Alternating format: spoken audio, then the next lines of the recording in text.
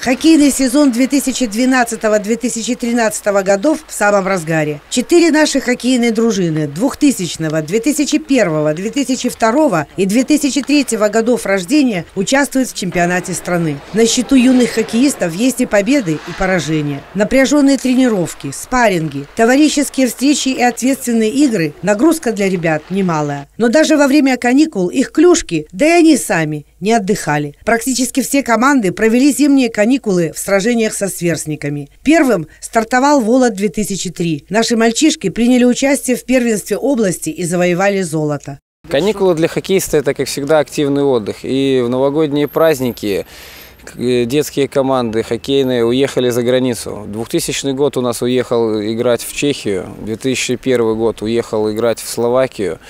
2003 год хороший турнир сыграли в Бресте, где заняли первое место. Уже по традиции дружина Дениса Курцевича отправилась на зимних каникулах в Словацкий Пухов на международный турнир ребят 2001 года рождения. Пинчане сражались со сверстниками из Словакии и России. Кстати, организованная за счет родителей поездка включала в себя и культурную программу. Юные хоккеисты с успехом осваивали горные лыжи и покоряли высокие Татры, плавали и развлекались в аквапарке. А сразу после приезда на родину отправились на республиканский коммерческий турнир в Ивацевичи, где встретились со своими давними соперниками из Березы, Минска, Бобруйска, Бреста и Гродно. Команда «Полесские тигры» отправилась за игровым опытом в Чехию. На льду ледовой арены Литомержице пинчане дали бой соперникам из Беларуси, Словакии, Германии, Литвы и Чехии. Эти зимние каникулы 12-летним мальчишкам запомнятся и прогулками по одному из красивейших городов Европы – Праге. Заграничные поездки были организованы за счет родителей, благодаря чему получили огромный бесценный опыт. Сыграв с такими знаменитыми командами, как